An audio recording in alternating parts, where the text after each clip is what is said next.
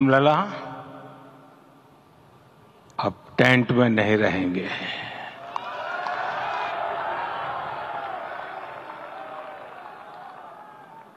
हमारे लाल राम लला, अब इस दिव्य मंदिर में रहेंगे।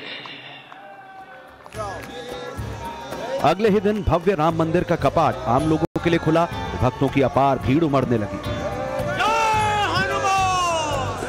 मंगलवार को तो एक दिन में पाँच लाख से ज़्यादा भक्तों ने रामलला के दर्शन किए। मंदिर में भारी भीड़ को देखते हुए सीएम योगी खुद अयोध्या पहुँचे, आला अफसरों के साथ मीटिंग की, फिर सोशल मीडिया पर ट्वीट भी किया। रामलला की प्राण प्रतिष्ठा के बाद से हर मौके पर पीएम मोदी और सीएम योगी भव्य और दिव्य राम मंदिर का ज़िक्र कर रहे हैं, रामराज की चर्चा कर रहे हैं, जिसके दर्शन दिल्ली के कर्तव्य पथ तक हो रहे हैं। इस बार रिपब्लिक डे परेड में इसकी झलक देखने को मिलेगी यूपी की पूरी झांकी राममय नज़र आएगी। उत्तर प्रदेश का विकास और यहाँ की विरासत राम से है और इसी राम राज्य को दर्शाती इस बार की झांकी भी है। झांकी में सबसे आगे राम मंदिर है।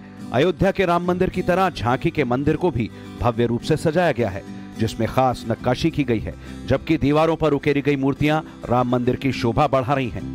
मंदिर के ठीक आगे बड़े बड़े अक्षरों में प्रदेश का नाम उत्तर प्रदेश लिखा हुआ है। जिसे तीर और धनुष के ज़रिए खास आकार दिया गया है। इसके साथ ही प्रभु राम के अयोध्या आगमन के प्रतीक स्वरूप होने वाले दीपोत्सव को भी बड़ी खूबसूरती से दर्शाया गया है। इसमें महिलाएँ सरयू घाट पर दीप तैयार करती दिख रही हैं। यूपी की पहचान अभी एक ताजमहल से हुआ करती थी, लेकिन अब यह पहचान मिट रही है और दुनिया उत्तर प्रदेश को राम के नाम से जान रही है। इस पे तो हर एक हिंदू को गर्व करना चाहिए, क्योंकि हमारे योगी जी और मोदी जी ने जो किया है उसके बदौलत हर एक हिंदू आज गर्व कर रहा है कि हमारे हमें मौका मिला अपने रामलला का मंदिर स्थापित करने का और उसे पूरी दुनिया को दिखाने का कि जैसे हमारा ये राम मंदिर बना है वैसे ही हम और भी आगे बढ़ेंगे और एक हिंदू का राज स्थापित करके रहेंगे हर जगह पे। गणतंत्र दिवस के ऊपर में पूरे भारत तो पूरे गणतंत्र मनाएगा ही साथ में अयोध्या का जो उत्सव होगा अति विशेष होगा। चाहूँगा छब्बीस तारीख की जो परेड जनवरी आएगी रामजी एक भव्य झांकी के रूप में सामने आएगी और अब की बार हमारे साक्षात प्रभु विराजमान हो चुके हैं।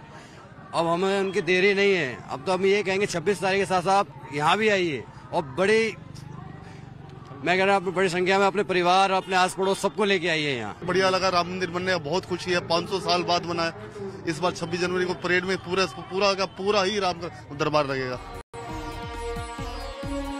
यूपी की झांकी में आगे आगे राम हैं। तो ठीक पीछे के ट्रेलर पर साधुओं को अर्घ्य देते दिखाया गया है, जो कि प्रयागराज में होने वाले माघ मेले और 2025 में होने वाले महाकुंभ के प्रतीक हैं। दोनों साधुओं के बीच में कलश को भी स्थापित किया गया है। जबकि साधुओं के ठीक पीछे हाल ही में शुरू हुई दिल्ली से मेरठ के बीच रैपिड ट्रेन की झलक है। दिल्ली गाजियाबाद मेरठ कॉरिडोर को जोड़ने वाली रैपिड ट्रेन का नाम हाल ही में बदलकर नमो भारत कर दिया गया है। यूपी की झांकी में विकास दिखाई देता है, भक्ति दिखती है तो शक्ति भी है। नमो भारत के ठीक ऊपर रक्षा क्षेत्र में भारत का नाम रोशन करने वाली ब्रह्मोस मिसाइल को दिखाया गया है। यही नहीं, गणतंत्र दिवस के मौके पर कर्तव्य पथ पर प्रदर्शित होने वाली उत्तर प्रदेश की झांकी में अगली तस्वीर दुनिया के चौथे सबसे बड़े इंटरनेशनल एयरपोर्ट जेवर की है।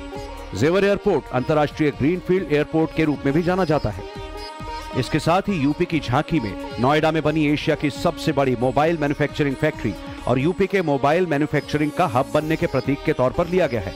इसके ठीक पीछे एलईडी स्क्रीन पर एक्सप्रेसवे प्रदेश के रूप में यूपी को दिखाया गया है। दिल्ली ही नहीं, उत्तर प्रदेश में होने वाली रिपब्लिक डे परेड भी इस बार राममय है। झांकी के लिए राम मंदिर के हु बहु मॉडल तैयार किए जा रहे हैं, जिसमें कमल के फूल पर रामलला को विराजमान किया जाएगा। इस दौरान सद्भाव की मिसाल भी देखने को मिली। क्योंकि राम मंदिर के मॉडल बनाने वाले मुस्लिम समुदाय से हैं। फारूक खान अपने पंद्रह लोगों की टीम के साथ पिछले तेरह दिनों से मंदिर के मॉडल बनाने में जुटे हैं। तो 500 साल की प्रतीक्षा के बाद अयोध्या धाम में प्रभु श्री राम का मंदिर बनकर तैयार है और प्रभु श्री राम लला उसमें विराजमान हो गए हैं। लेकिन कितनी खूबसूरत बात है कि वहाँ मंदिर बना और सद्भाव देखिए यहाँ पर दिखाई दे रहा है। 26 जनवरी को झांकियाँ निकाली जाती हैं विधानसभा मार्ग पर। उसमें भी इस बार मंदिर का मॉडल खास तौर पर बनाया गया है और उसे बनाने वाले कौन है? नाम खुद ही जान लीजिए। क्या शुभ नाम है मोहम्मद फारूक। फारूक साहब ने ये मंदिर का मॉडल बनाया मंदिर बनाया देखिए ये पूरा मंदिर है। आप देखेंगे उसी पैटर्न पर जो गर्भगृह है जो पाँच मंडप हैं जितने मंजिला वो मंदिर रखा गया है वो सब हूबहू यहाँ पर उकेरा है। तो फारूक साहब जितने बनाने वाले हैं उनके नाम एक बार बता देंगे आपकी टीम के जो लोग हैं। नाम इसमें गुड्डू है संदीप है इरशाद है राहुल है और छोटू है मुन्ना है। तो पूरे मतलब सद्भाव के साथ बनाया है बिना मज़हब की दीवारों के? रेहान है फरहान है ये सब मिलके अच्छा मंदिर बना रहे थे तो भाव क्या था आपका? भाव क्या था कि इसको बनाना है अपने हिसाब से खूबसूरत बने। मतलब आप चाहते थे कि मंदिर खूबसूरत खूबसूरत बने कि काम में कोई आए बिना हो। अच्छा। काम को भी जो लेके चले तो उसको दे हम जब हमको सुंदर लगेगा तो सबको सुंदर लगेगा वो। ये समझ लीजिए। मैं सवाल इस वजह से पूछ रहा हूँ कि लोग कहते हैं कि सब मुस्लिम लोग जो है खुश नहीं है और वो बड़ी नाराज़गी है। कुछ लोग ऐसी बातें करते हैं। ऐसा इस, इसमें हम लोग से इससे कोई नहीं।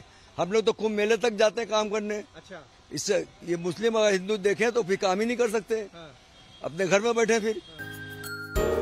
26 जनवरी को दिल्ली में गणतंत्र दिवस परेड में 16 राज्य केंद्र शासित प्रदेशों नौ मंत्रालयों और सेवा क्षेत्र की चार झांकियों सहित कुल 30 झांकियाँ शामिल होंगी। खास बात है इस बार दिल्ली पंजाब और पश्चिम बंगाल की झांकी 26 जनवरी की परेड में शामिल नहीं हो रही है जिस पर सियासत भी शुरू है।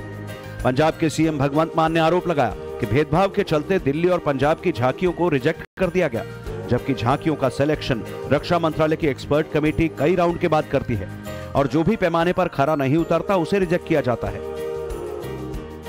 अयोध्या से गौरव श्रीवास्तव और लखनऊ से मनीष यादव के साथ, bureau report, times now of Bharat.